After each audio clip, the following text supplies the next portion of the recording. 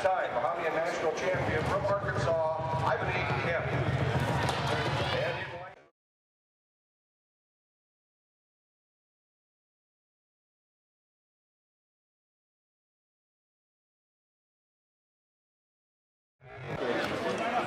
Time now to introduce the field in flight number two of the men's long jump competition. Jumping first in flight number two, a junior from Nebraska, the Big Ten champion,